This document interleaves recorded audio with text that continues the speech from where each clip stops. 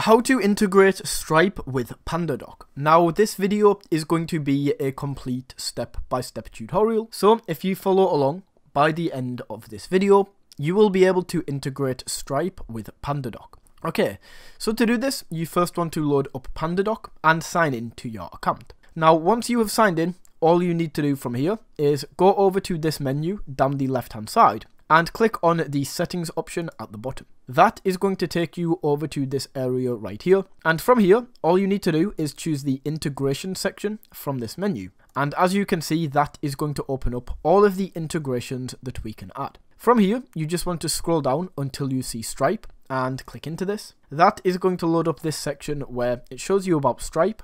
So all we need to do is click on connect on the right hand side and that is going to load up this box where we can go through and sign in with your Stripe account. Enter in the password, and just like this, you can see it now says select the account you'd like to connect. So just go ahead and choose one of these and click on create. And then all you need to do from here is it now says login to PandaDoc. So just go through and enter in your PandaDoc details. And just like that, as we can now see, Stripe has been connected.